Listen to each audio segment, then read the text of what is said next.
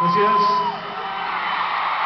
La siguiente canción se la queremos dedicar a todas las mujercitas que tienen luz en sus ojos, en su mirada.